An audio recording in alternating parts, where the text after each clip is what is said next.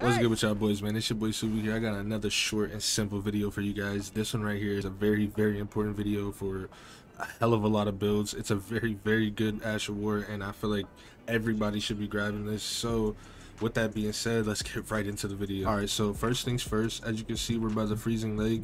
I'm gonna show you guys exactly where this is.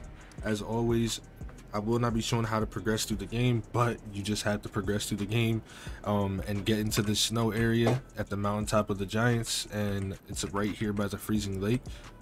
The bonfire is right here. We'll travel to it so you can see. I'm assuming everyone's at this part or close to this part now. So like I said, I'm not going to show exactly on how to get here.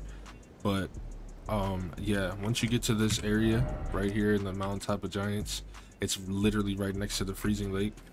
So what we're gonna do is take this path right here just follow exactly where I go on stream.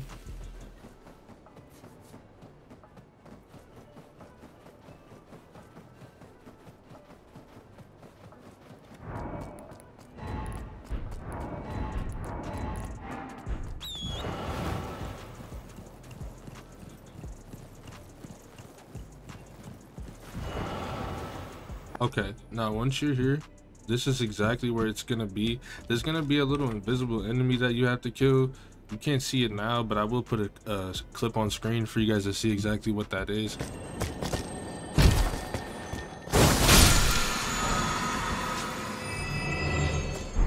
But yeah there's a little invisible guy here that you have to kill. He's not a hard enemy you just have to hit him.